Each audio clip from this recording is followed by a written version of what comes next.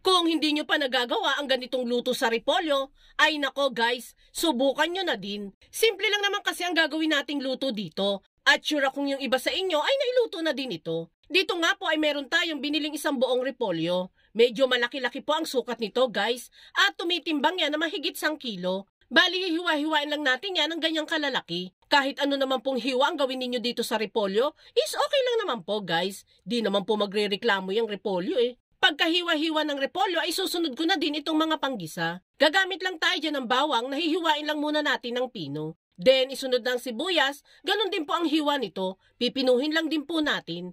And last ay itong mga kamatis. Maliliit na cubes-cubes lang po ang gagawin nating hiwa dyan. Matapos natin yung mahiwa ay proceed na agad tayo sa pagluluto. Dito sa ating pan ay maglalagay lang muna ako dyan ng mantikang panggisa. At kapag mainit na, ay pwede na nating igisa dito ang sibuyas at bawang. Igisa-gisa lang natin yan hanggang sa lumabas na ang aroma ng niluluto. Habang ginigisa-gisa ko yan, gusto ko lang muna pong i-shout out si Ma'am Lorna Santos ng Laguna at si Ma'am Babylin Kasamplong. Thank you, thank you so much sa inyo mga madam ko sa inyong laging pagsubaybay. Kapag nagisa na dito ang sibuyas at bawang, ay pwede na din nating isunod ang kamatis. Gisa-gisa pa natin yan ng dalawang minuto bago tayo maglalagay ng mga pampalasa dito.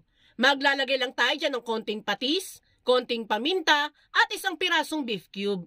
Halo-haloin lang muna natin ito hanggang sa matunaw na ang beef cube na inilagay natin. Then matapos maihalo ang mga pampalasa, ay maglalagay naman ako dyan ng isang lata lang ng corned beef. Mas pasasarapin kasi ng corned beef itong gagawin nating repolyo recipe. Pwede naman po kayong gumamit dyan ng any brand ng corned beef na gusto ninyo. Kung ano pong mas masarap sa inyo na brand, is go lang po tayo. Then, igisa-gisa lang muna natin yan ng kahit ilang minuto lang. At saka naman tayo dyan maglalagay ng 3 cups ng tubig. Bali, ginamit nating tubig dyan is hugas bigas. Halu-haluin lang muna natin yan at saka takpan at hayaan mo ng kumulo ng kahit isang minuto lang. Habang pinapakuluan yan, ay nagpiprito na din pala ako dyan ng isdang kapartner ng ating ulam.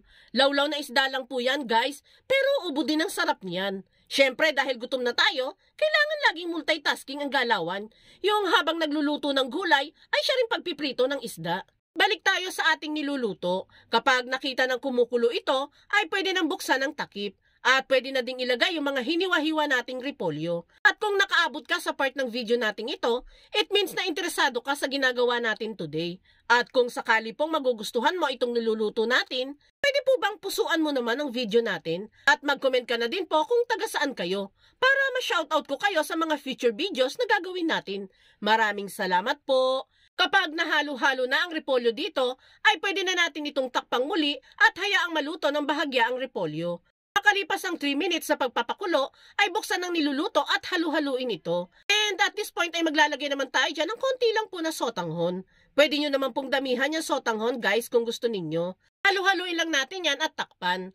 Lutuin lang natin ito hanggang sa maluto na ang repolyo at sotanghon.